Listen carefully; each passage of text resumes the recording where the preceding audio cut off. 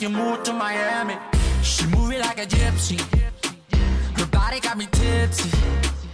I should take a step back, fall back. This girl got me feeling risky. She ready for the taking, and I got the motivation. Your dance, there's a chance you might not come home from vacation. And if you look, you'll fall in love. She make it clap, she leave you shook, and now you're hooked. The way she dance, She gon' make you move to Miami. She gon' make Hey everyone, this is Dr. Jennifer Bars, and I'm here at the Winter Clinical Miami Sunset Cruise and Network Reception. Let's go meet some of our boat passengers and see how they're having fun. So, for Miami food, ceviche or Cuban sandwiches? Ooh, ceviche, always. Cuban sandwich all the way. Ceviche. Ceviche for sure. I feel like the ceviche, ceviche 105, where it's at. Ceviche or Cuban sandwiches? Ceviche. Ceviche. Oh, ceviche. Ceviche, we had it for lunch. I'm a vegetarian, so I'll have to pass. Fair point. But, but, arepas. Just saying. So I'm Peruvian, so I would say ceviche, but it's actually, if you're from Miami, it's, it's a Cuban sandwich. What is your cruising drink of choice? Champagne all day. Tito's and soda. Girl after my own heart. Grey Goose. Tito's. Belvedere. Beer outdoors, down below, scotch.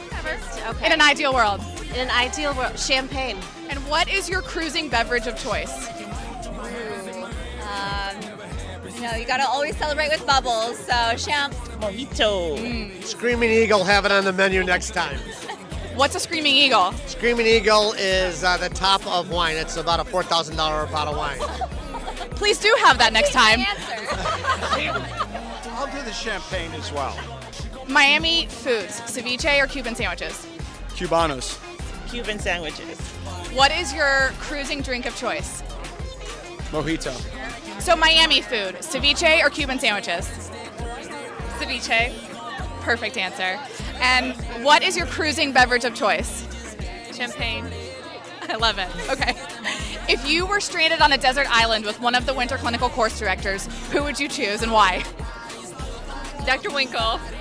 If you were stranded on a desert island with one of the Winter Clinical course directors, who would you choose and why? Oh my goodness, that's a great question. I think I have to think about that. April Armstrong, I just love her. She's amazing. I think she's extremely intelligent and she would know what to do. She is goals. Yeah, honestly, I think I might steal your answer. I feel like she would just take charge and like get everything done. And if you were stranded on a desert island with one of the winter clinical course directors, who would you choose? Hmm. Dr. Lebwohl, of course. I think I would have to say the same. Who did you say? you said Dr. Lebwohl. Well, just in case she plays in Goldenberg.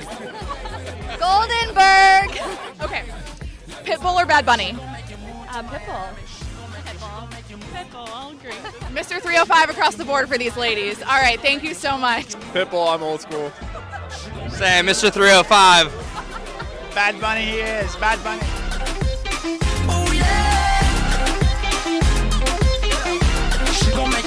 To Miami. Oh yeah.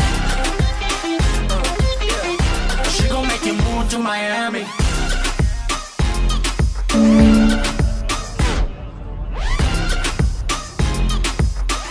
She gon' make you move to Miami.